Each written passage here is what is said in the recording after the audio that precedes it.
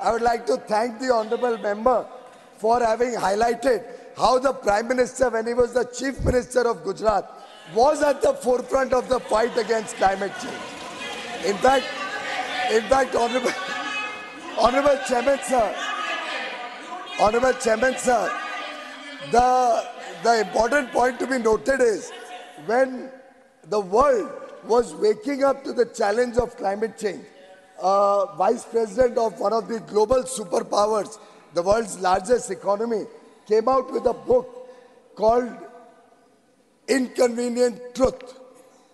But Honorable Prime Minister, in response to that, said, as the Chief Minister of Gujarat, that for us in India, we knew this inconvenient truth, truth for generations and centuries because India consciously respects nature, respects every aspect of nature.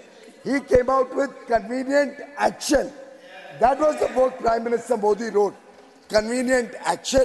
He consistently, as Chief Minister, whether it was the first uh, solar power unit in India, whether it was the first uh, wind power unit along the canals, I think Prime Minister Modi has demonstrated through action right from the last 23 years where he has led the country in one form or the other in different initiatives. Question. His uh, sensitivity to the environment and his commitment to make India uh, a global player when it comes to addressing Question number seven. climate change.